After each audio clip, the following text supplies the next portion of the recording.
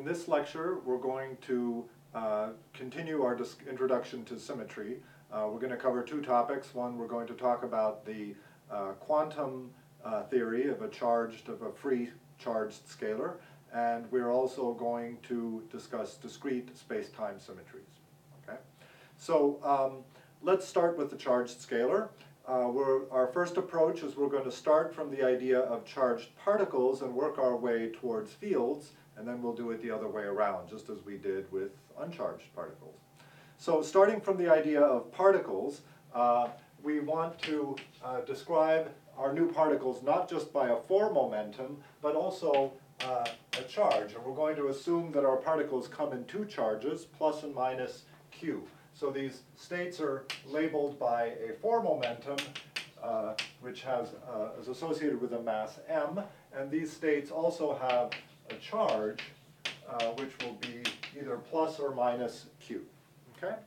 And so uh, these are the one particle states, the state of one particle with either plus charge or minus charge. But of course, we want to be able to describe uh, uh, states with any number of positively and negatively charged particles. So the most general state, we'll write it like this. We'll have a set of momenta with uh, particles of plus charges and a set of momenta q uh, of particles with minus charges. So this notation here is a little shorthand. Here P just means a list of momenta P1 through Pn, and Q just means a list of momenta Q1 through Qm. So n and m don't have to be the same. We could have none of one, all of the other. We could have anything that we want. So this is any number of positively and negatively charged states. So on, this is our space of states. Uh, on this space of states, it's natural to define a charge operator, which just tells us the total charge of the states. So on one particle states, uh, the charge operator is just plus or minus q times the state, back again.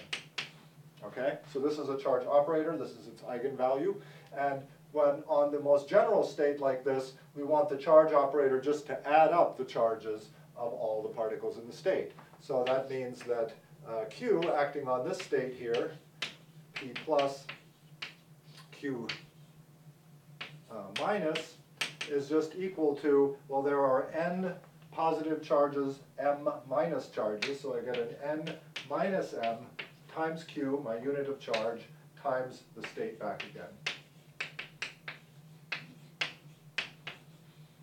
Okay? All right. And what we're uh, eventually interested in, this is going to be a free theory, and so in a free theory not much is happening, but what we're interested in later when we add interactions is that we would like this charge to be conserved in all interactions. So uh, the no, there's no net charge created or destroyed. Okay? But for now we're just learning the formalism for this free theory. Okay? Okay, so uh, from what we've learned, whenever there's a symmetry, there should be a, uh, a, a, conserved charge, and this conserved charge should be, uh, uh so, so the, the, the, the idea is, what we want to do now is we want to show that this charge actually generates a symmetry, okay? So what we're going to do then is we're going to this is now, this, this, this charge operator has now been defined on the most general states, so we can just work out what it does. Okay? And uh, we're just going to go right to working in Heisenberg picture. Okay? So in Heisenberg picture, uh, the states are not going to transform, okay? But the operators in this theory are going to transform by uh, e to the i theta q operator e to the minus i theta q, okay, where q has been defined here, okay? And uh, theta is a continuous parameter, and so we can consider transformations where theta, the transformation parameter, is small, okay? And so this is O plus I theta q commutator with O plus order theta squared, okay? And this right here uh, can be thought of as the action of the generator Q on the operator O. The, the, uh, the, the, the, the, the, generator Q acts on O by conjugation, or sorry, commutation, by a commutation relation, essentially, okay? Now, the way we want to define, we want to define this uh, precisely with factors correct and so on. So we'll write this as minus I theta Q star O. So this star here means acting on O, okay? And we have a minus I theta because that's how we conventionally define the generators uh, acting on things, okay? So in other words, Q star O is just another name for minus Q commutator O. Okay, this is the action of Q on O. Uh, in Heisenberg picture, it's operators that transform. This is the infinitesimal generator. Okay? Okay, so uh, that's how general operators transform. General operators can be made out of creation and annihilation operators, just as normal. But now we have to have two different kinds of creation and annihilation operators, one for plus states, plus charged states, and one for minus charged states. So we have a creation operator alpha dagger of P, and when that acts on the vacuum, it creates a plus charged state, right? And we have uh, another guy, beta, beta dagger, another creation operator, acting on the vacuum uh, gives you a negatively charged state. Okay, so we have two kinds of these guys. And the same kinds of logic that we did before will tell us, uh, uh, you know, what, what the, we have the same kinds of uh, actions on general states. So what we're going to do now is we'll define the most general state, which we wrote before, P plus Q minus, okay? What is this state going to be? Well, it's just going to be a bunch of alphas uh, act, and a bunch of betas acting on the vacuum, right? So we'll have, we'll just write it like this. It's a product over all the p's, the p's living in here, of alpha dagger of p, and then there's a product of all the q's, all the elements of this guy right here, sorry, this should be, minus should be out here. Uh, the product of all the q's, beta dagger of q, all acting on the vacuum state. Okay? All right? Okay, so this defines the creation and annihilation operators, different ones for plus and minus states, okay? And now we can work out, again, the commutation relations between these guys, okay? Now, one thing that's easy to see is that uh, it doesn't matter what order you act with the alphas, daggers, and the beta daggers. Because every alpha dagger just adds another guy here, every beta dagger adds another guy here. Doesn't matter which order you do that. So that tells us that, for example, uh, alpha dagger of P, uh, beta dagger of P uh, is equal to zero. Okay? Right? Okay? On the other hand, if you, uh, if you take alpha dagger of P, alpha of Q, okay, this is creating and destroying the same type of particle, a plus particle. And so all the things that we did before apply because plus particles are just a different kind of particle. And so this thing is going to be, just as before, is going to be P, uh, the, the, is going to be this overlap PQ, which is another name for the Lorentz invariant delta function between these four momenta on the mass shell, right? And this is, in turn, going to also be the same thing for beta. So, oh, I think I have the uh, daggers backwards, yeah. So to get the sign right, for this to be a plus sign, this should be alpha, alpha dagger. And similarly here, beta of P, beta dagger of Q is also equal to that. So basically, these are the only non-zero commutation relations. The alpha daggers, the alphas commute with all the other alphas, the betas compute, commute with all the other betas, same with the daggers. These are the only non-zero commutators that we have. Okay? All right. And so we can, just as before, we can build any operator out of these creation and annihilation operators. So in particular, we can build the charge operator, okay? So the charge operator is just going to be what? It's just going to be uh, q, because it comes in units of q, and then we want to write down the operator that charge that counts the number of plus particles minus the operator that counts the number of uh, minus particles. So we can, these right here, capital N plus and capital N minus are just the number operators for plus charged particles and minus charged particles. And what is this? This is Q, using our usual notation. This will be uh, alpha dagger P alpha of P minus beta dagger P beta p, right? So this operator here just counts the number of positive, uh, plus charged particles, this counts the number of minus charged particles, okay? So that's all perfectly fine, okay? Okay, um, now the next natural step is to ask, well, what are the observables, right? We've defined uh, the most general operators, we've defined this particular operator that we like, the charge operator, but now we want to know what are the observables? Those are the ingredients for building uh, the, interacting theories, for example, right? And now we have some choices, okay? Because uh, we could, you know, we could make observables just out of the alphas, we could make them just out of the betas, okay? But it turns out that what we want to do is we want to have our observables have a definite charge. Just like it's convenient to work with states that have a definite charge plus or minus, it's, it's, it's, uh, it's useful to work with fields that have a definite charge. And so the way we're going to define our uh, field is we're going to define it as, uh, as usual, as a Fourier transform with this Lorentz invariant uh, measure, and we have alpha of p e to the minus i p dot x. But now instead of adding the Hermitian conjugate of this, we're going to add beta dagger of p e to the uh, plus i q dot x. Okay? All right?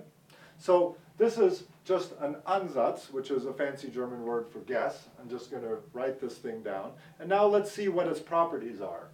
So the first property you see is that it is not equal to its Hermitian conjugate. Okay? So you might say, well, just for that reason it's a, it's a silly definition because remember I wanted my observables to be uh, Hermitian operators. Okay? However, I can, uh, this is still a useful building block for observables because I can write things like phi plus phi dagger.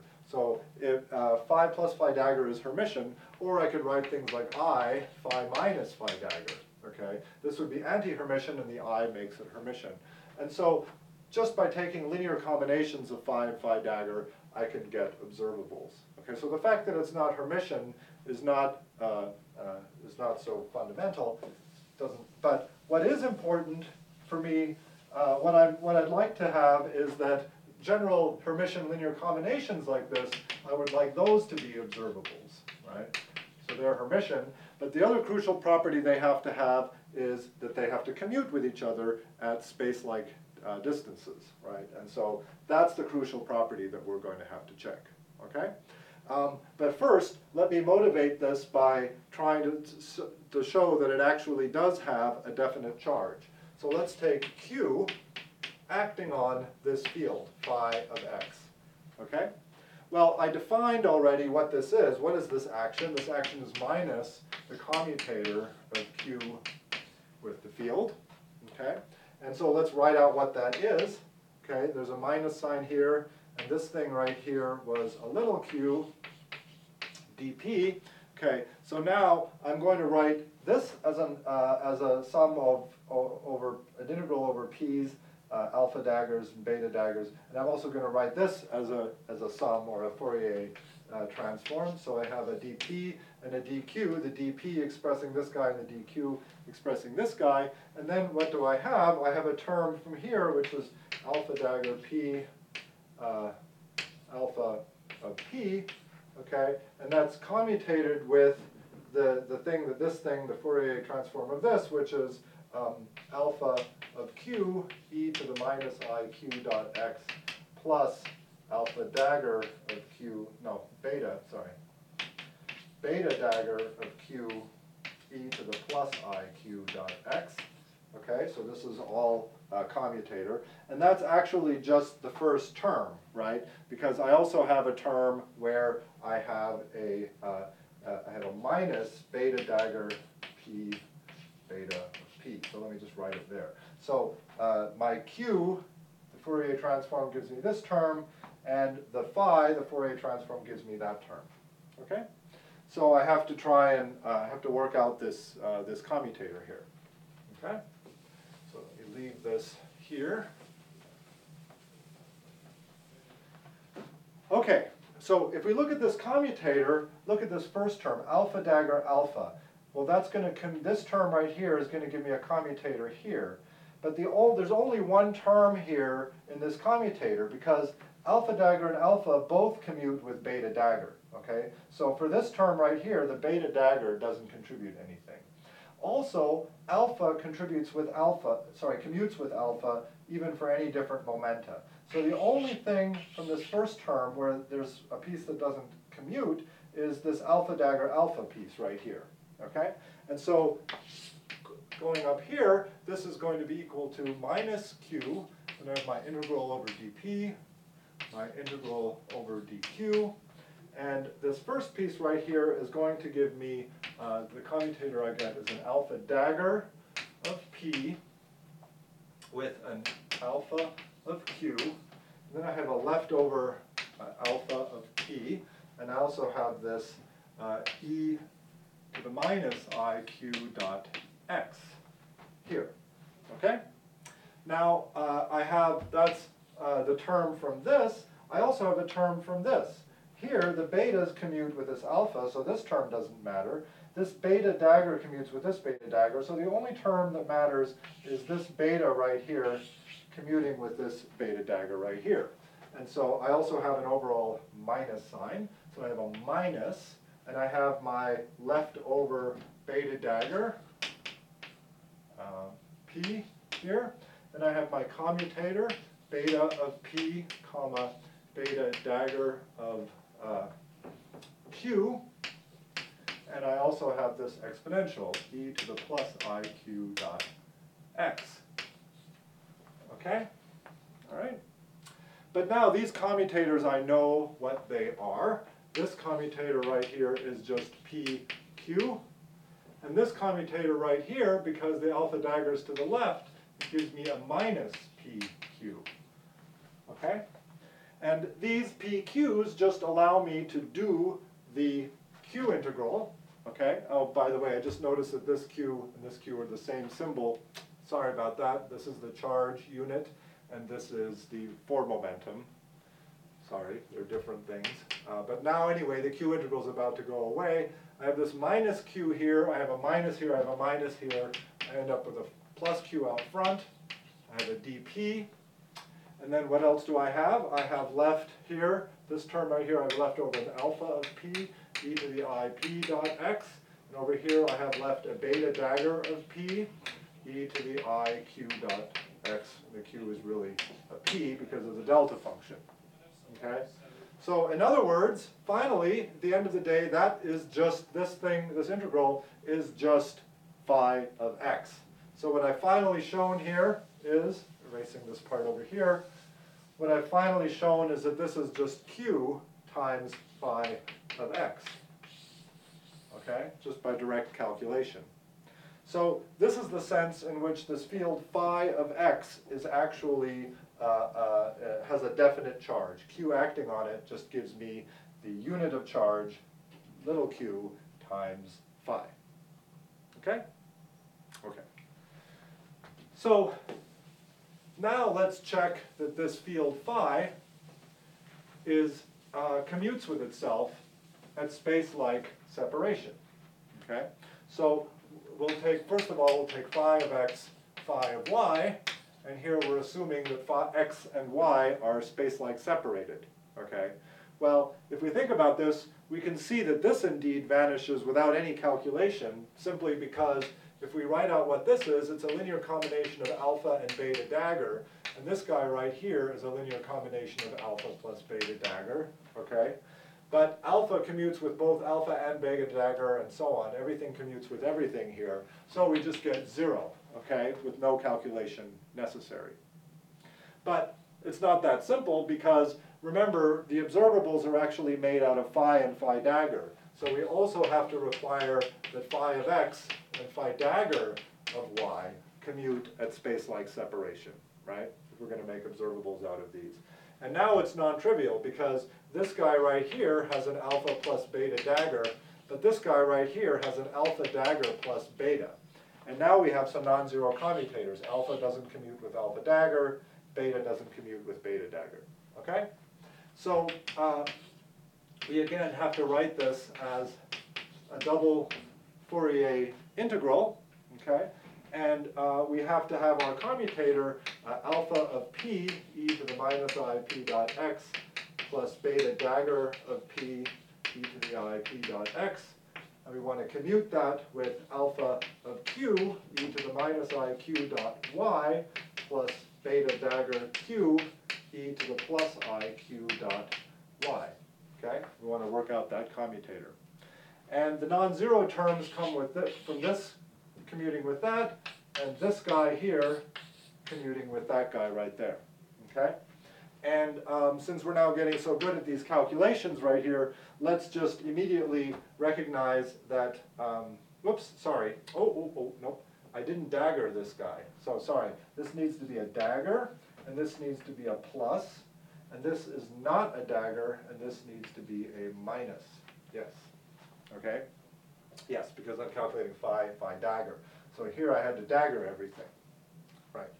Okay, so this alpha commutator with alpha dagger just is going to give me a delta function with p and q, a Lorentz invariant delta function. Okay? And that will allow me to do the q integral. And what I will have left is an integral over dp. And then I just have to collect the remaining factors. I'm going to have an e to the minus i p dot x, e to the plus i q dot x, and that just turns into e to the minus i p dot x minus y, okay, because of the delta function, okay? Uh, similarly over here, uh, I have to do this commutator, beta dagger beta. Now they're, they're in the wrong order, so to speak, so I'm going to get a minus uh, delta function of p dot q, so I get a minus, and that delta function allows me to do the q integral, and then I'm going to have left over these exponential factors, which are e to the plus i uh, p dot x minus y. Okay? All right? And this can be written as minus 2i dp times the sine of uh, p dot x minus y. Okay?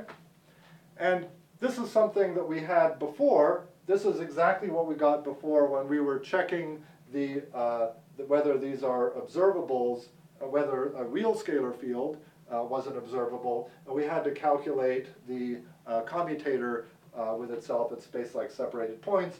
We encountered exactly the same integral. Okay, and so let me just remind you again, because it's actually quite simple.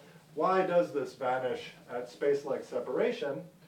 Notice that everything is Lorentz invariant here, okay? So I can ch always choose a reference frame where the two fields are at the same time. If they're space-like separated, I can choose a time, a time surface, say t equals zero, where they're both at the same uh, time coordinate, okay?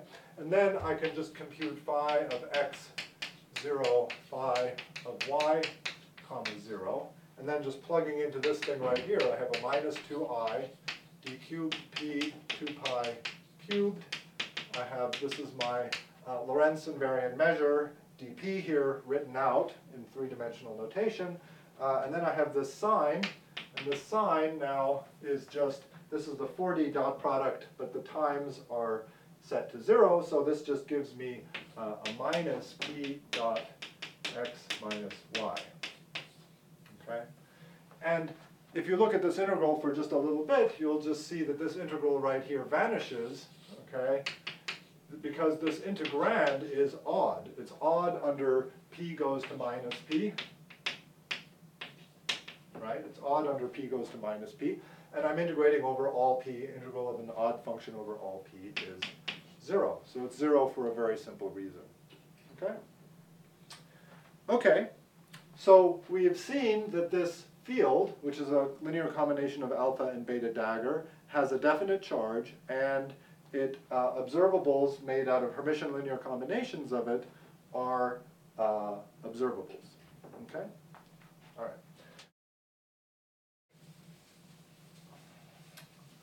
Let's see, So now let's reverse the process uh, and go from fields to particles. Uh, the basic claim is that this theory that we've just constructed, this theory of plus and minus charged uh, quantum particles, is the quantum version of the SO2 invariant theory that we constructed in the last lecture.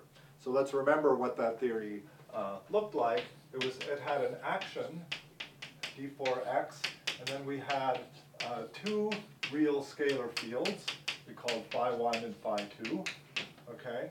And uh, they had the same mass. Okay, this was the theory. And because they have the same mass, this theory is invariant under an SO2 rotation. So we can define a phi 1 prime and a phi 2 prime, which are the SO2 transformed versions of these fields. And we have uh, an SO2 matrix, an orthog a 2 by 2 orthogonal matrix, uh, acting on phi 1 and phi 2. Okay? And so uh, because phi 1 squared plus phi 2 squared is an invariant, it's sort of the length of a two-dimensional vector, which is invariant under these rotations in this field space, uh, this action is actually uh, invariant. Uh, the fact that we chose the same coefficients here is, is just conventional, right? Now, uh, in order to see the connection with what we did previously, it's useful to define a complex field, which is 1 over square root 2 phi 1 plus i phi 2. Okay, so that is a complex field. And uh, if we just go ahead and write the action in terms of this complex phi, we can, we can rewrite it. And uh, what we end up with is uh, an action that looks like this, d4x. We end up with a d mu phi dagger d mu phi. Okay, I've written out the kinetic term here, minus m squared phi dagger phi. Okay? So, for example, this term right here, phi dagger phi, we can see that this is just the length squared of this complex number, which is just uh, up to this factor of 1 half, which is sort of conventional here. Uh, th this phi dagger phi is exactly this 1 half phi 1 squared plus phi 2 squared. And for this kinetic term, it's similar. These derivatives just sail right past this, uh, this uh, everything else, and so this thing is equal to the sum of those uh, kinetic terms, okay? And one of the reasons for this complex notation is that instead of having a two by two matrix like this, now on this complex field phi, the action of this uh, transformation is actually just by uh, having a phase, okay? So e to the i theta acting on, e to the minus i theta acting on this. Um, okay, all right. Now, if we here, if we want to, uh, uh, here, um, nowhere has the parameter little q, which is the unit of charge that we had in the quantum theory. That has not appeared here anywhere, okay? So actually, we can include that here in the following way, okay? So we can just uh, replace the transformation parameter q uh, sorry, theta, the transformation parameter theta by q theta everywhere, okay? And so then what happens is now the transformation property goes like this, okay? Now you may think, well, there's not much meaning to, you're just, this is just equivalent to rescaling theta. It's not quite that because uh, a, a, a, a, rotation all the way around is theta equals 2 pi, right? And so by choosing different values of q, you're actually uh, choosing different values of theta for which the transformation completes. Okay, but anyway, we'll go ahead and include these factors of q like this. Okay? Now, um, let's go ahead and uh, find the Noether current uh, in this complex language. Okay, we found it previously in the uh, in the uh, in the real language, in the language of phi 1 and phi 2, but you never, never can get enough practice uh, finding Noether currents, so let's go ahead and, and find the Noether current in the complex language, okay? So I'll leave this down here. This is our action written in the complex things. Here is our uh, transformation. And so what does the trans what does the complex transformation look like? If we write this thing out, this will give us a phi minus iq theta times phi plus higher orders uh, in theta. And so uh, the, the linear piece, the delta theta is just, the delta phi, the, the change in the complex field of linear order is just given by this term, it's minus iq theta times phi itself, okay? So now let's find the linear change in the action. So here is the action right here. So we have a d4x, okay? And uh, let's, uh, there's a piece where the delta acts here, here, and on either of these terms. Let's take them one at a time. Starting from this guy here, that gives me a d mu phi dagger. And then this term right here gives me a d mu times a minus i q theta times phi. Okay?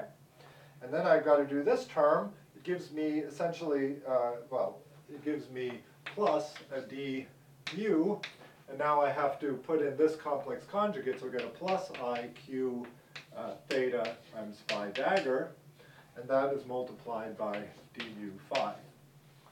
Okay? And then I get this term right here, minus m squared phi dagger minus i q theta phi, uh, plus, also times m squared, uh, plus i q theta phi dagger times phi.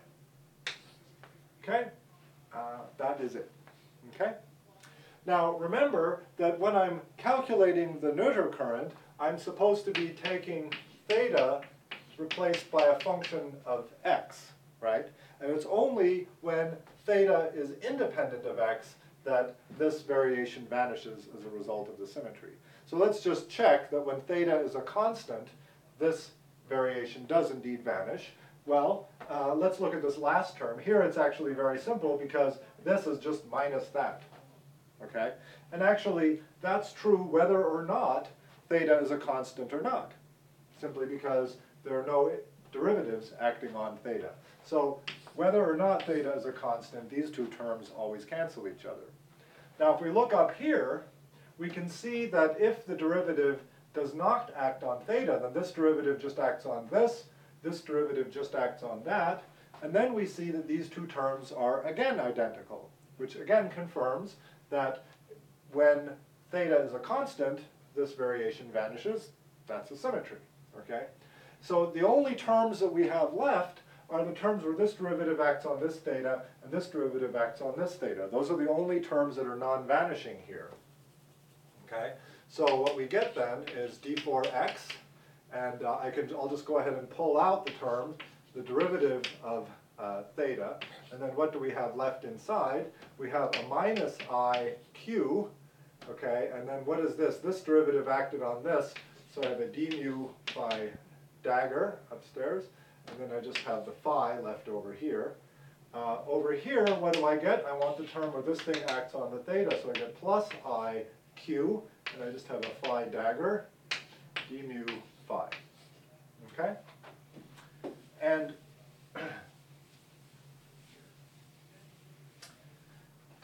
this thing in here is, by definition, minus the Noether current, right? This minus sign is just some pesky convention, so it's essentially the Noether current, okay? All right? I guess I should have written this as an upper uh, index here, okay?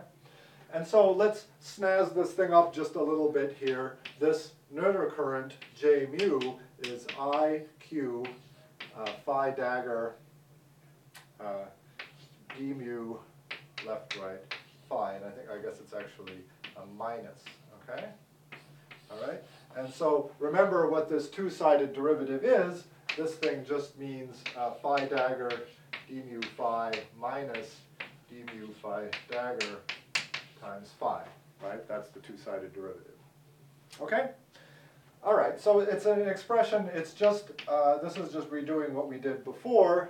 When we did it, we did it before for real fields, now we're just doing it for complex fields. You see how it, how it, how it goes. Now, um, from this Noether current, we can define a conserved charge. Okay? And the conserved charge is just Q is equal to um,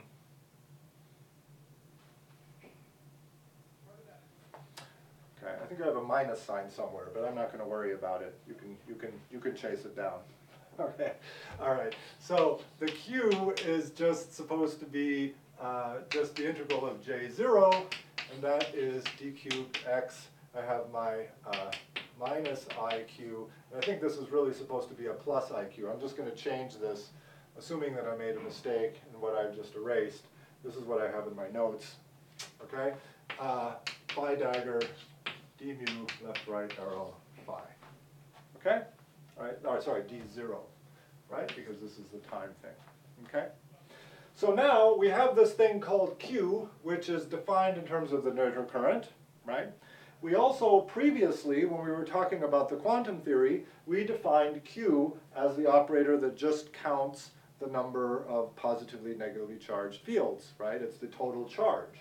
So now we have to see whether these two definitions in fact uh, agree with each other, okay? So we're going to start with this definition right here.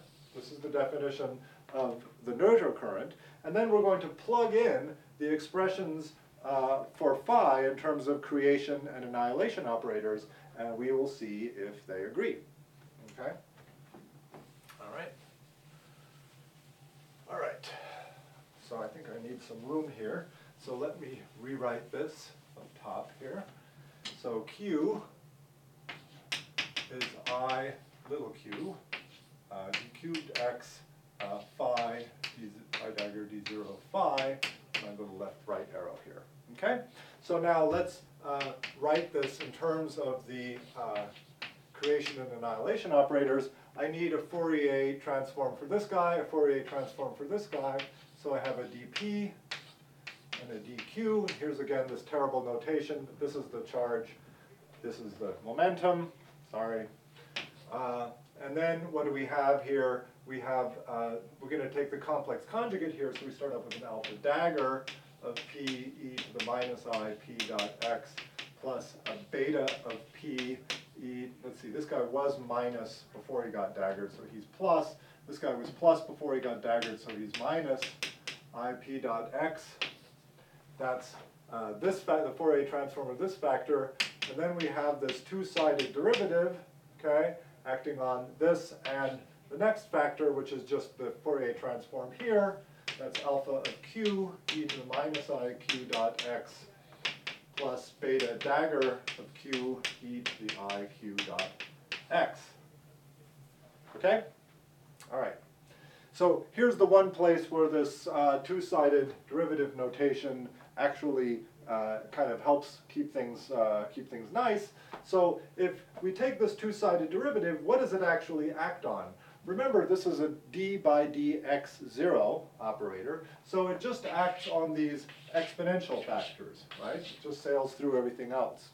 So now, this two-sided derivative, I get a term from this, this, this, this, this, this, and this, this. So I'm going to have four terms, right?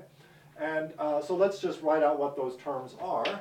So I have an iq d cubed x, and I have my dp and my dq.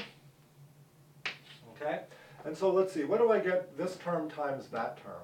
Well, the alpha dagger and the alpha just go along for the ride. So I have an alpha dagger of p, alpha of q.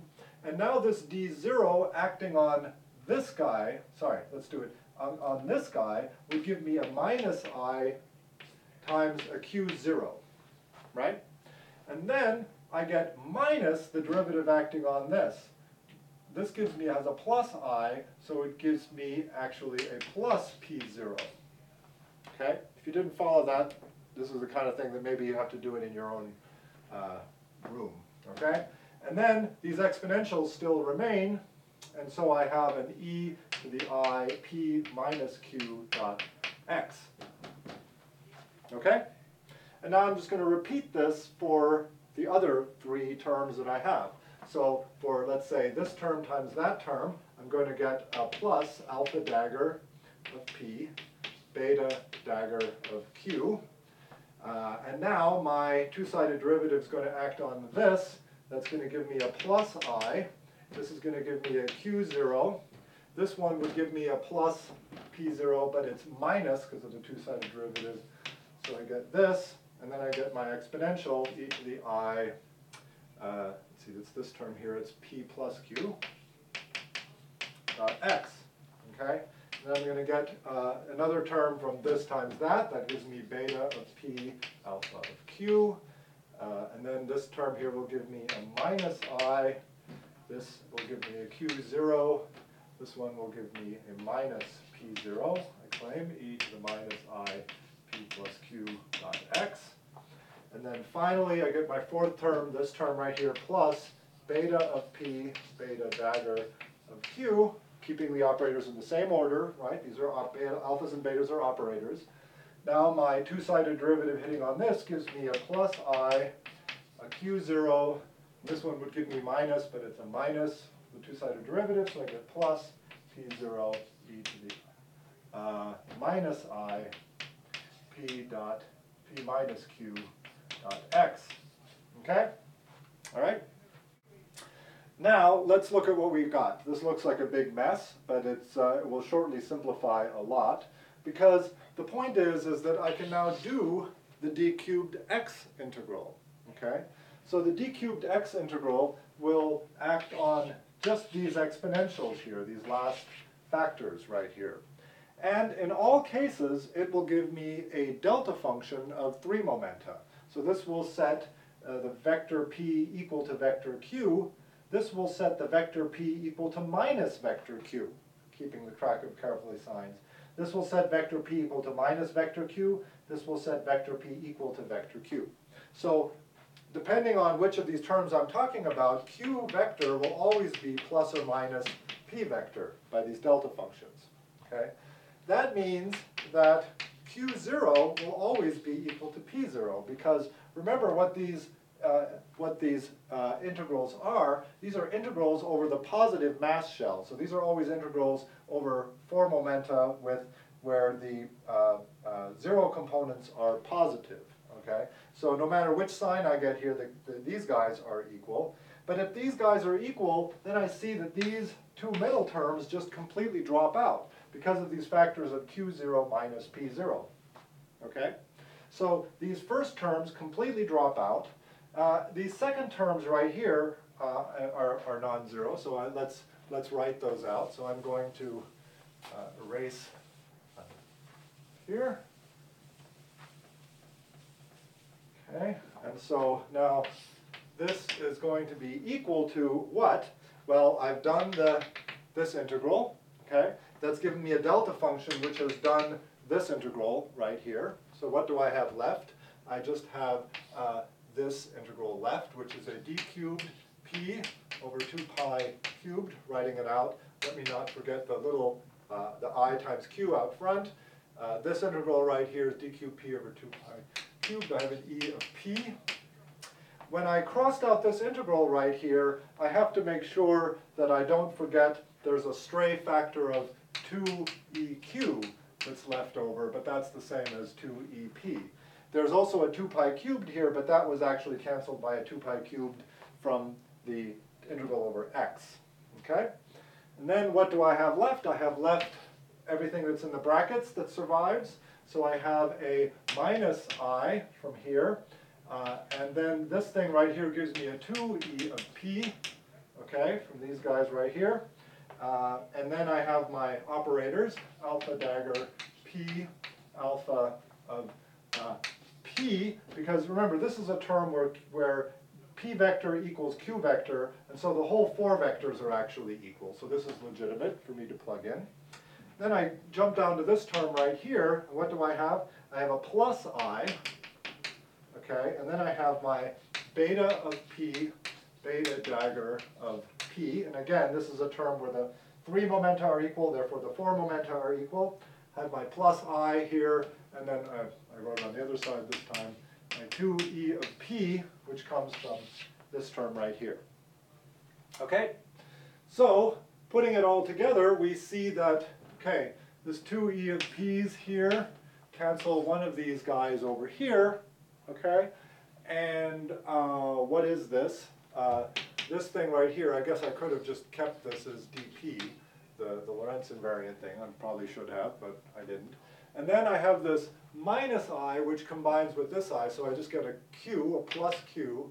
And then I have my dp, I'll write it that way now. And then I simply, all I have left is just alpha dagger p, alpha of p, minus, because these guys have the opposite sign, beta of p, beta dagger of p. Okay? Whew. Okay, so I calculated what Q is from the using the Noether definition of Q and plugging in the alphas and the alpha daggers. Okay, and I got this. Is that equal to what I got before when I was just defining it to be the thing that counts the number of plus minus the number of minus charges? And the answer is, it's so close, but it's not quite. What's wrong is just the order of this guy right here. If you look back on what we said for uh, Q, it had the beta dagger and the beta in the other order. And beta and beta dagger don't actually commute. What is this?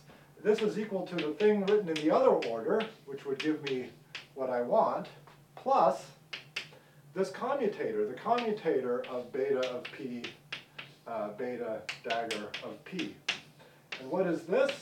That is pp, right? It's the same p. This is the delta function of p minus p. It's an infinite constant. Okay?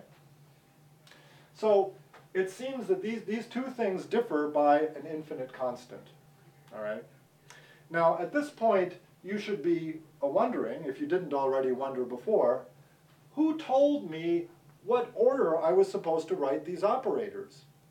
When I wrote the Noether current, I was deriving it in a classical theory, and I didn't have to worry about which fields were on which side of which things. Fields are just real, they, they were complex fields, but they were C numbers. They just commuted with each other. And I derived an Noether current just happily commuting everything around. But then when I plug it in, when I plug into this operator expression, suddenly it matters which order operators come in, right? And so the, the, the answer to the question of who told you what order to put these operators in is nobody. There's actually an ambiguity in how you order the operators, okay? And so what we, uh, so what we really want to do is we want to construct the quantum theory. The quantum theory is more fundamental than the classical theory. The fact that we cannot uniquely derive the quantum theory from the classical theory does not bother us, right? But what we can see is that the, the way to make them agree is to define, okay, the uh, q in hindsight to be d cubed x j0. Okay, this is what we would have defined uh, with this, with uh, uh, this is what we wrote down before, this is the Noether prescription, but now we've seen that this is actually ambiguous because we don't know whether to write alphas on the right, alpha daggers on the right, whatever. But what we're going to, we're going to fix that ambiguity by requiring this to be normal ordered, right? So normal ordering is something we've discussed before in the problems. What this means is, is that alpha daggers to the left of alphas, beta daggers to the left of betas. So basically, you put all the dagger guys to the left, all the non-dagger guys to the right, okay? And the basic property, and, and, and this sounds like this is just some crazy prescription, but it, it actually works, and it actually has nice properties, some of which you've already seen in the, in the homework. But the, the most basic property of a normal ordered operator is that if we look at its vacuum expectation value, that vacuum expectation value is always zero. And the reason is simply is that all the annihilation operators are going on the right where they can hit this guy, all the annihilation operators are on the left where they hit this guy. So the, the, the vacuum expectation value is always zero. General non-normal ordered operators have infinite vacuum expectation values. So in some sense, this is like, this, at least part of what normal ordering is doing is it's subtracting off an infinite constant C number value from the operator. Uh, and so for bilinears like this, that's exactly what you're doing because you can see that the difference between what we want and what we got was an infinite C number. Okay?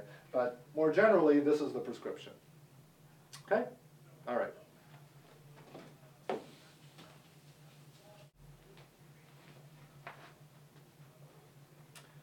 Okay, now we're going to switch gears a little bit and we're going to talk about discrete space-time symmetries. Okay, so remember so when we talked about Lorentz transformations, we first uh, derived, uh, we wrote their defining property as this, right? That they, in a sense, they leave the metric eta mu nu invariant in the sense that they obey this equation. But then we saw that this right here is actually more general. This defines transformations that are more general than just boosts and rotations. Boosts and rotations are the only thing that we actually have experimental evidence for. So uh, we want to for sure keep boosts and rotations, uh, sorry, we have direct, they're not the only things we have experimental evidence for, but all of the classic tests of special relativity like muon decay that, that show us that time dilation exists and certainly the fact that you know, nature seems to be rotationally invariant, all those things are, are, are, only testing rotations and boosts. So we don't want to assume any more than that to begin with at least, okay? And so, uh, so the basic, uh, the, the way that you see that there are these additional transformations is that uh, there are, uh, there is a, there's a component of these transformations that are connected to the identity where the determinant of this four by four matrix is plus one, okay? The determinant is always plus or minus one. These, this relation can be, okay, so let me just back up. This relation here can be shown to imply that the determinant of this matrix is either plus or minus one, just by taking the determinant of both sides. And by taking the zero, zero component of both sides, you can show that lambda zero, zero is either bigger than or equal to plus one, or it's less than or equal to minus one, okay? And the reason that this, these facts are important is because the, the boosts and rotations have the property that the determinant is plus one and the delta zero zero is uh, bigger than plus one. And those are the only Lorentz transformations that can be continuously connected to the identity transformation, okay? So we have the boosts and rotations which are, can be continu continuously connected to the identity and they satisfy these relationships right here, okay? But then we can get more general things uh, that, that violate these conditions by appl applying two special uh, Lorentz transformations. One of them is uh, p mu nu, parity, and what this is, is this is a diagonal matrix which is one for the time component and minus one for the space components, right? Okay.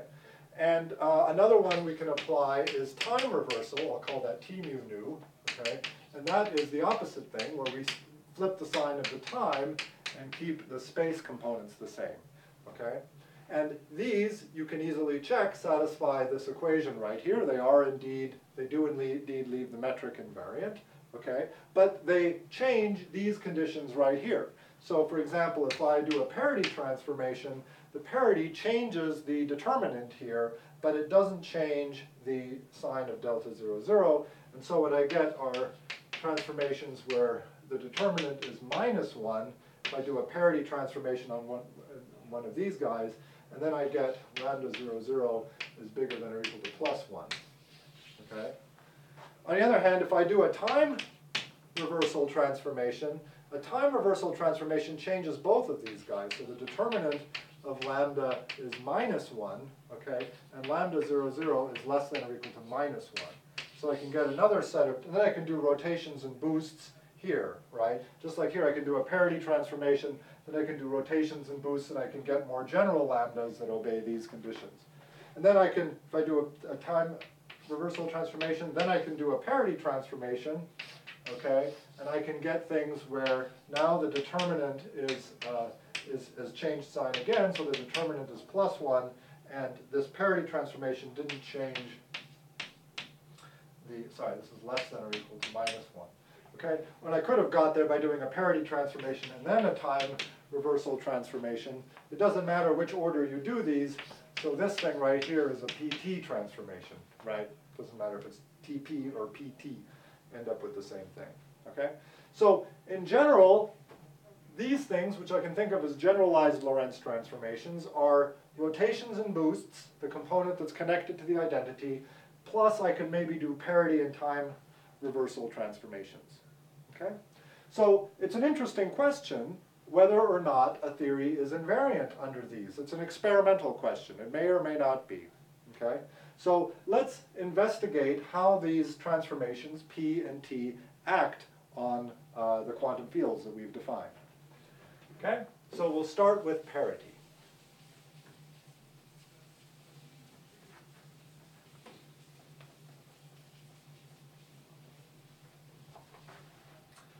So let's say that we have uh, phi is a, a real uh, quantum field, right? A real scalar field. Okay? it's a quantum field, okay? It's a free field, a real free scalar field. And we want to know how parity acts on it, okay? Well, uh, clearly what we want is we, we're using the Heisenberg picture, right? We would have P inverse P, sorry, P inverse operator P. That's what, uh, what phi transforms to, so let me just say that, sorry. Phi of x is supposed to transform to a new phi of x, right? And uh, what is that going to be? This is going to be P inverse phi of x uh, P, okay? And uh, let me write this as phi of x and t, p, write it out explicitly. And the, uh, the obvious guess is, well, what does this do? What does p do to this field? It reverses x and doesn't reverse t. Okay, so what we would do is we would want to define this as phi of minus x comma t. Okay? All right? So why did I put a question mark here? Okay? The reason I put a question mark here is that, that uh, I can define P to act in this way. Now I've defined P, and now I don't have any choice as to what P is, okay? But now uh, it's not clear whether P is a, uh, is, is a unitary matrix, okay? All right? So for right now, we've defined P, and our strategy is going to be now to work out some of its properties, okay? So one property that this transformation has, which is very clear, is that p squared equals 1. In other words, if you do p and do p again, you get back the original thing, right? That's clear. You do it once, you reverse the sign of x. You do it twice, you get back to where you started. So that's good, okay? Um, if we define, if we want to define parity to act in this way on the fields, how does it act on general operators? Well, generator, general operators can be written in terms of the creation and annihilation operators. And so it's clear that what we want is P inverse alpha of P. Uh, P is going to be alpha of the tilde four momenta, where what we mean by this is we just change the sign of the spatial component. So if the four momentum P mu is P0 uh, P vector, then the tilde four momentum is the one that we get by just changing the sign of the spatial components. Okay? Now, by the way, one thing I should uh, emphasize here is that this is not a rotation, right? You might say, oh, well, gee, I, I know how to take a vector to minus p. I just do a 180 degree rotation, right? But the point is, is that 180 degree rotation will not take every other vector to minus itself, right? Uh, so the only, uh, the only way to take every vector to minus itself is uh, it, for example, you know, if I do this 180 degree rotation, there's the axis of rotation, it doesn't change that at all, right? So the only way to take P minus itself, it, this is a transformation which is not a rotation, it's a, it's a very different thing, right? Okay? So anyway, uh, this is how we want to act on the alphas, and once I tell you how the, the transformation acts on the alphas, I can build any operator out of the alphas and the alpha daggers, and so I know how it transforms under all transforms every possible operator. Okay? So uh, P is completely defined, but now the important question is whether it is unitary. Okay? And this isn't just some technical thing, oh gee, I like unitary operators. The point is, is that a, a, a, transformation like this is a symmetry only if it is unitary. So the question of whether it's unitary is really the question of whether it is a symmetry. Okay? So this is an absolutely crucial question. Okay, so let's see if it is. So uh, the way I'm going to uh, the way I'm going to check this is I'm going to just evaluate its matrix elements between an arbitrary state. So I'm going to take an arbitrary state Q1 through Qm, P, P1 through Pn. Okay? So remember, I'm talking about a real free scalar field here, right? Okay? And uh, what is this? Okay, well, I have Q1 through Qm, and then I can write this as alpha dagger P1 through alpha dagger Pn acting on the vacuum, right? Okay? But now I can uh, write this in terms of the p's acting on these alphas. So I can write, here's my Q1 through Qm.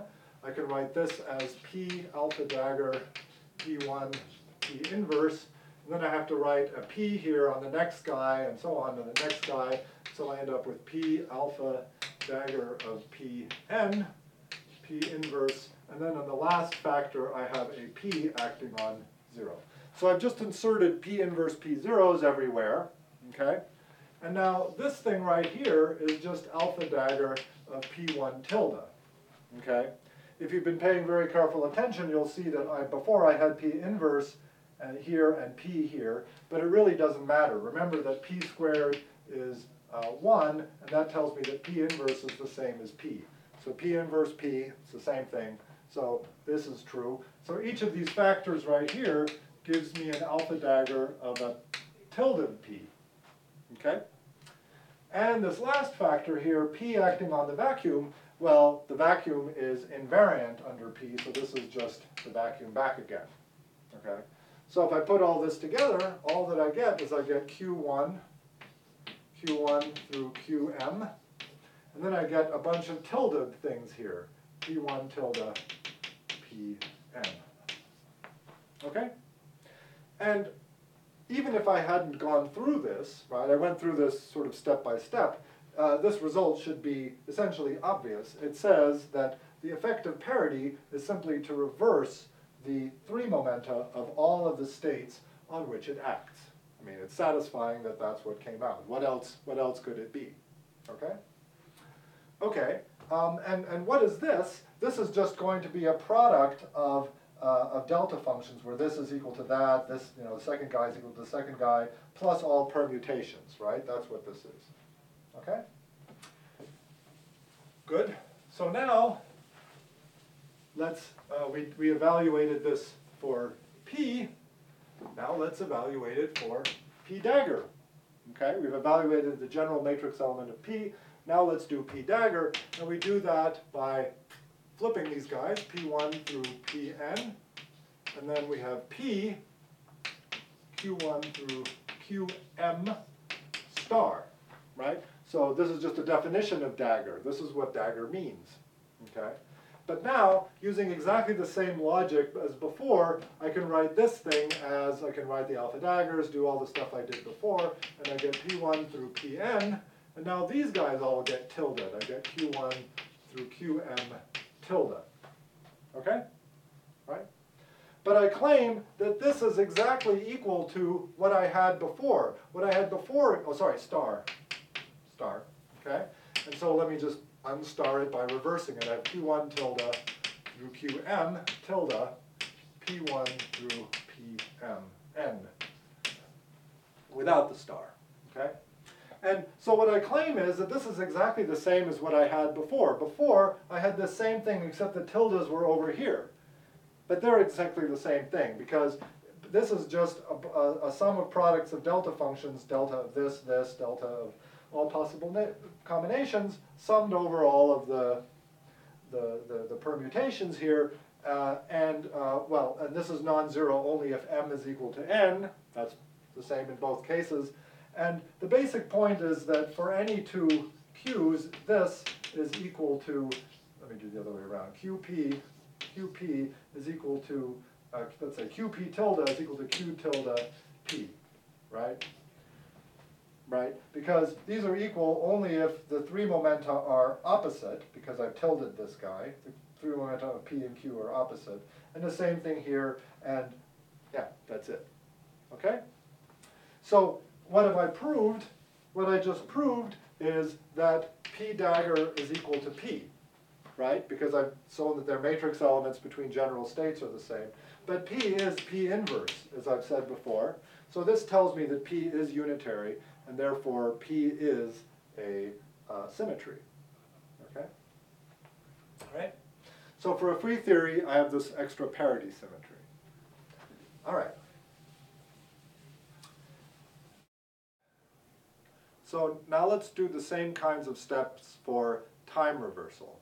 Now it's actually a little bit simpler to think about PT, the product of parity and time reversal, because that's something that just takes the whole 4 vector to minus, minus itself.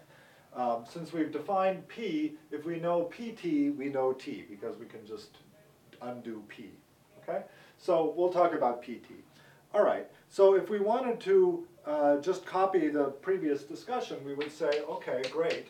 Uh, I will define the PT operator acting on a field, okay, to just reverse the sign of the, uh, of, of, of x, okay? And if I remember, let me just talk about a real field here. Uh, if I remember what this was in terms of the creation and annihilation operators, I have alpha of p e to the minus i p dot x plus alpha dagger of p e to the plus i p dot x. Uh, you see that if I'm reversing x, I'm exchanging these two exponentials. And so what that is doing is it, uh, it, it needs to be exchanging alpha with alpha dagger, right? In order, that would be the thing that would implement this transformation right here. So pt inverse acting on alpha of p, pt, would be alpha dagger of p, right? It's easy to see. If you plug that in, if you reverse the alphas and the alpha daggers, it would be exactly equivalent to reversing uh, x, the four vector x, okay? But this is really totally crap, because if I, uh, if I evaluate this now, if I evaluate this definition of PT, so I, I should put a big question mark here, because this is gonna turn out to be totally wrong. Um, if I evaluate this definition of PT between two states, two arbitrary uh, n particle states, right? Well, what, I just do the same kind of thing that I did before, so I have Q1 through Qm, and now uh, this is going to be PT acting on a bunch of creation operators, uh, alpha dagger P1 through Pn acting on the vacuum, and then I can use this, rewrite this with PTs and PT inverses to make each one of these be the PT transforms of these, but those turn, all of those uh, alpha daggers get turned into alphas now, P1 through alpha of Pn 0. Okay? And that's just zero. So this says that the matrix element, for this definition of PT, the matrix element between arbitrary matrix, its matrix elements are all zero between all possible states. That is certainly not a good definition of PT, okay? And if you look at this, you stare at this for a long time, it's actually really hard to figure out what went wrong. Because what went wrong is something that's so basic that we just take it for granted. And that is linearity, right? So I've, uh, this is a sum and I've used linearity all over the place here, okay? So it's probably not even clear what that means because how do I talk about an operator that isn't linear? It's very hard to do that because it's so built into our notation and our thinking, okay? So I'm gonna have to back up and explain what do I mean by a nonlinear operator? Specifically, what I want is what's called an antilinear operator. So let me explain that. Okay? Okay, so uh, uh, we're going to have to change notation a little bit because, like I said, linearity is so built into our no current quantum mechanics notation. So we're used to drawing ket states, okay? And now I'm just going to remove the ket and I'm just going to call the, the state psi, okay? And we're used to writing operators acting on states as products like this. And see, that's what it, what makes us sort of assume that they are linear, because this is a product, right? So uh, just to, to, to, to jar you out of your complacency, I'm just going to call this O psi, and you have to think of this as O acting on psi, not O times psi. This is just the action of O on psi, okay? And then, how do I take, you know, you, I'm used to taking, having bras and kets, right? So I'm used to having things like a state chi with a state psi. But now, I'm going to think of this as, I've got a state chi and a state psi, and I'm gonna put them into a mapping. So there's a mapping, which I will denote to make things as confusing as possible, I'll make this notation look like a bracket. Um, this is a standard mathematical notation, but here the idea is that, that this thing here uh, accepts two states and gives me back a complex number, right? That's the inner product, all right? Okay? And so in this language, I have an inner product and uh, I have I have I have operators like this. Let me remind you of something about some properties of this inner product here. This inner product is linear. Let's remember what that means. That means if I take chi, and then I take a linear combination of uh, psi 1 and psi 2, so psi 1 and psi 2 are states, c's are just some complex numbers, right? This is uh, c1 times chi psi 1 plus c2 chi psi 2. Okay? Conversely, if I take linear combinations on the left, if I have c1 chi 1 plus c2 chi 2 with psi, so I'm taking a linear combination on this left thing right here, then this actually becomes c1 star, okay, chi 1 psi uh, plus c2 star uh, chi 2 psi, right? And this stars here are coming because this is really sort of the complex conjugate of this times this summed over the indices or integrated over, you know, the argument or something like that, okay? So this is all just rewriting things that we already know in this uh, more general notation, okay? Okay, now what is unitarity in this relation, in this, in this notation? So if I have, uh, if I have a state, uh, if I, let me say I have an operator u, and the, what is the condition that u is unitary? The condition is that if I take the inner product of u acting on chi with u acting on psi, okay, then that is equal to just chi psi. Okay? And the condition is that this holds for every state chi and psi. If that is true, I call this a unitary operator. Okay? And this really is what you know as unitary, because if I write this back in our uh, good old notation, right, that we understood, this is actually, so the, the, the, the, this is actually the ket state with u acting on uh, this, which is actually u dagger acting on this, and this is u acting on this, okay? And so the statement that this is equal to just chi psi for any states here means that u dagger u has to be 1. So this is in the, this is the, the, the, the, the, the usual condition that we have for a unitary matrix, okay? All right. But now this, uh, this new notation allows me to define a different kind of operator that's very hard to deal with in the, the standard quantum mechanical notation. And that is an anti-unitary operator. So an anti-unitary operator, let me call it V, okay? So it is an operator where any state, it acts on the state. So V times psi is a new state, okay? Um, and the condition for an anti-unitary operator is if I take V chi, V psi, okay, that that is equal to not chi psi, which is what I had before, but chi psi star, okay? So the star is what makes this thing an anti-unitary operator, okay?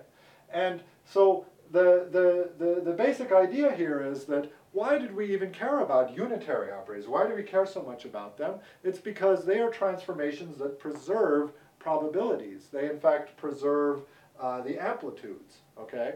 But if an operator is anti-unitary, it turns basically uh, chi psi into its star, and since it changes every uh, uh, overlap into its star, it actually even preserves interference things, it preserves probabilities, it preserves everything. So an anti-unitary operator is just as good of a symmetry transformation as a unitary operator. And in fact, Eugene Wigner proved that any symmetry transformation can be written either as a unitary or an anti-unitary operator, but not both. In practice, time reversal invariance is the only anti-unitary transformation that, that exists, as far as I know, okay?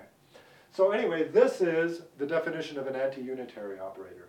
And it really does take a little getting used to, okay? So for example, let's take, uh, let's take this thing here, uh, the state chi, overlapped with v times uh, v acting on a linear combination of psi 1 and psi 2. Okay, let's look at this. Well now, remember the basic property of, uh, of, of, of anti-unitary operators that I wrote there. Uh, you can think of this relationship as saying that I can multiply by a v inverse on both sides of this and then put in a star, right? That's what this thing here says. So if I do that over here, if I put in a V inverse, I get a V inverse chi, and then the V inverse here removes this V, and I get C1 chi 1 plus C2 psi 2. But because I did these two V inverses, I have to put a star here. That's the anti-unitary uh, part of this, okay?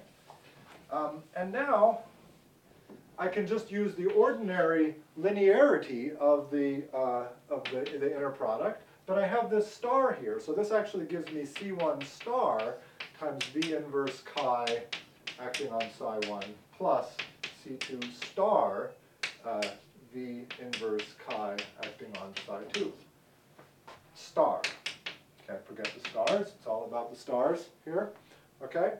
And again, using the V inverse on both sides things, this is C1 star chi V psi 1 plus C2 star chi uh, V psi 2. Okay, now without the star. Okay, and this holds for any chi and psi 1 and psi 2. And so what I see is that actually V acting on C1 psi 1, C2 psi 2, V acting on this is actually not C1 times V acting on this plus V2, C2 times V acting on this, but the stars of the C's, V psi 1 plus C2 star V psi 2. Okay? And this is the basic property of anti-linear, this is, this property here is called anti-linearity. It's called anti-linearity because it, it's almost linearity, but it's anti in the sense that there's a complex conjugate that appears in these coefficients. And it's this relation that is kind of weird, right? It says that, you know, you just cannot think of this as a product because the, the C's on this side are returned C stars when they come out here, okay? Now the way to keep track of this uh, without going insane is to think of it in the following way. To think of this operator as an operator that acts on C numbers by complex conjugation. Because that's what this amounts to. You can think of this V acting on this thing is, uh, is, you know, it acts on the C numbers here as complex conjugation, and then it does whatever it does to the vectors. Okay? All right? Okay, so the claim is going to be that PT is going to be an anti unitary operator in the sense that I've just described. Okay? So how does it act? well, the claim is that what we want is PT inverse alpha of P PT. We want that to be, drum roll please, alpha of P. And so this looks wrong because it looks like we're not doing anything. It looks like we're just keeping all the operators the same but it is not so because of anti-linearity. So uh, let's see what this means for the, the field, phi of x. Okay, what is this? Well, we have to do the PT inverse thing on this linear combination, this integral, alpha of p e to the minus p dot x plus alpha dagger of p e to the plus i p dot x. Then we have our pt again over here okay? And what does this PT operation do? Well, it just keeps these guys, doesn't do anything to those guys, right? But it complex conjugates, so it complex conjugates these guys right here. And so it is dp uh, alpha of p e to the plus i p dot x by complex conjugation doesn't change this guy, alpha p e to the minus i p dot x. And that indeed is phi of minus x. It is exactly that. Okay? All right. Now, what we've actually done here is actually pretty cool, okay? Because what we've shown is that uh, PT is, uh, is anti-unitary. It is actually a symmetry. Okay? Now, lest we get too excited about this, uh, we've only shown this for a free, uh, a free theory. Okay? But amazingly, if we allow arbitrary interactions of this uh, free scalar field theory, then we can actually show that no matter what, this theory is actually PT invariant, okay?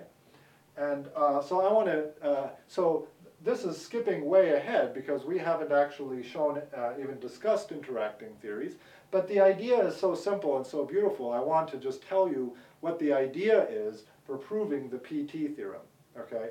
Now, you may not have ever have heard of the PT theorem, you've probably heard of the CPT theorem. Well, because we have a real scalar C, which is charge conjugation, doesn't do anything. And we'll talk about C on complex scalars in a second. But I want to explain what the idea is behind the PT theorem when we have real fields like this scalar here for interacting theories. Okay? So, uh, okay, so how, how, how, is this, how is this proved? It's proved by uh, an amazing, uh, amazing, beautiful idea. We take these, uh, the, the fields and everything that we calculate depends on space-time coordinates. But what we do is we allow these guys, we now allow these uh, coordinates to become complex. It's very often in physics, right, it's useful to take real things and allow them to be complex and see what happens. So it's allowed in this case as well, okay? And it turns out that what you can show is that when you make these things complex, you can really analytically continue your whole theory into this complex uh, domain, okay? And then what you, you also end up with complex Lorentz transformations acting on these things. So now you allow complex Lorentz transformations. Okay, uh, what's the big deal about complex Lorentz transformations? Well, the idea is that you can go, remember we had these two disconnected regions. One was uh, gamma 0, 0 uh, being bigger than plus 1, or we had to have gamma 0 being less than or equal to minus 1. Right? We have these two disconnected regions. But now the claim is that we can go continuously between these guys right here. Before, there wasn't, a, there wasn't a continuous way to go between these two things. We had two disconnected mass shells, okay? And to see that we can go continuously between these, I can just give you, uh, give you an, an, an, example. So I can look at a, a, a matrix, gamma mu nu, that looks like this. Cosine theta, i sine theta, I sine theta, cos theta. So the upper 2 by 2 block is kind of like a rotation matrix with some i's in here and the same sign here and here. And then it acts trivially on the other two components. Now because of this i here, this is not a legitimate Lorentz transformation, but it's a complex Lorentz transformation. And I can check that it keeps the metric invariant in the sense that it satisfies my defining condition here that we had for, for Lorentz transformations that it preserves the metric in this sense. Okay, the metric is real, but this thing is complex, it, it preserves this thing. Okay? And now notice this Lorentz transformation is a function of theta, so there's a continuous parameter. And if theta is zero, this is just the identity. I get cosine, cosine, off diagonal things are zero. On the other hand, if I evaluated at pi, right, I get, uh, I get the transformation uh, that looks like uh, what does it look like? Um, minus 1, no.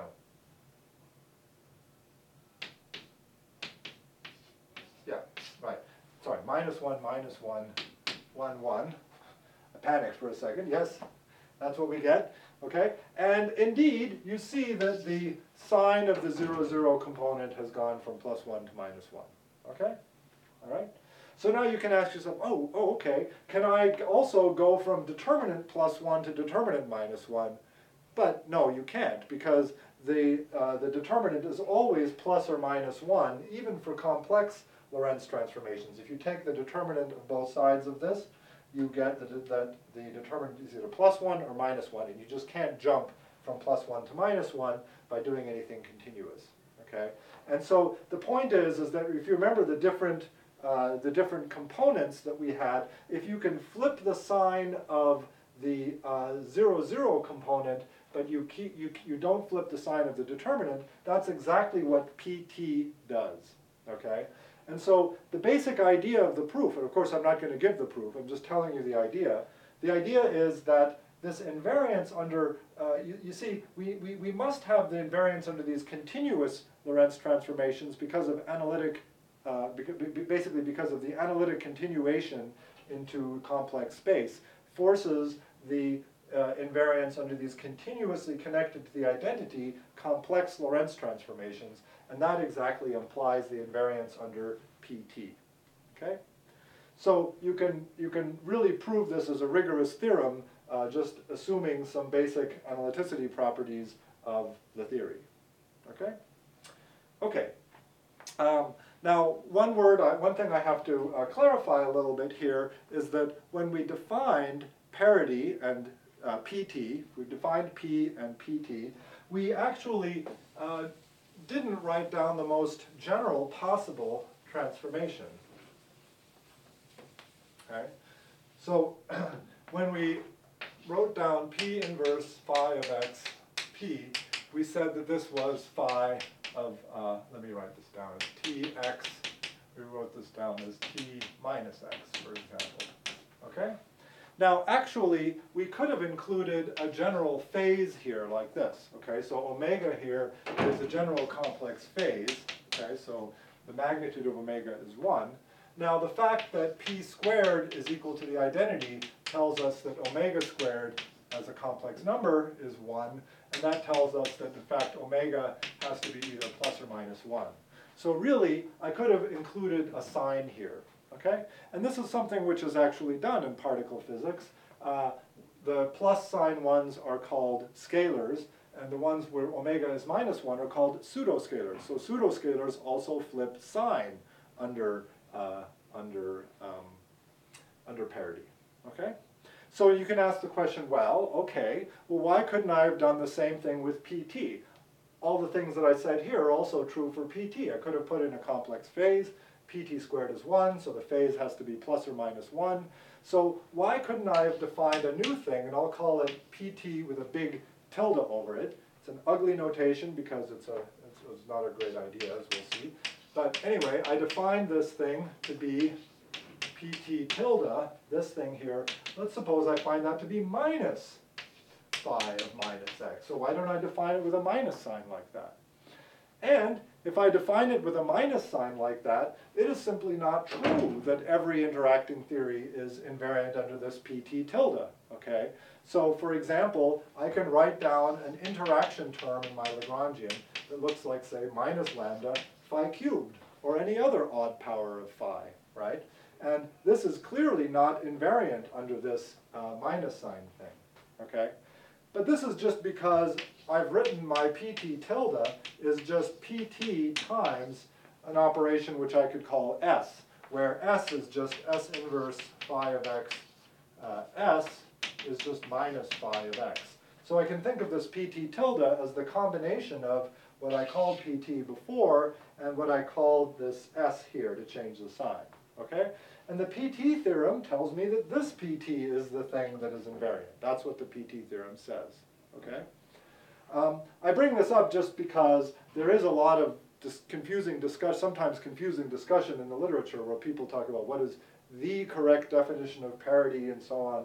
Um, uh, why do people sometimes define uh, omega like this? Because sometimes it is the case that, in the case of parity, that P times this S, which changes the sign of the field, is a symmetry, but P by itself is not.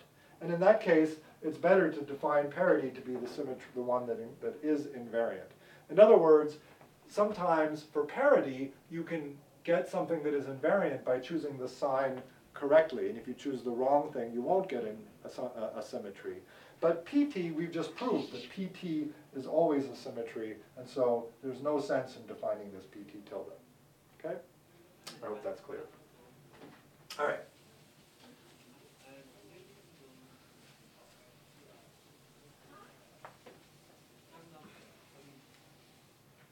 Okay, the last thing I want to talk about is charge conjugation. So now let's consider the case where this is a complex field. Phi is now a complex field, a free field, again, okay? And so we can write it, remember now, if we decompose it into our creation and annihilation operators, it looks like uh, there's an e to the minus i p dot x, beta dagger p e to the plus i p dot x, okay? And what we want is we want what charge conjugation is, as the name implies, it is something that interchanges plus and minus charges. So what we want is C inverse alpha of PC to be beta, okay? So uh, under C, instead of annihilating a plus charge, we want to annihilate a negative charge. Just going to flip positive and negative charges.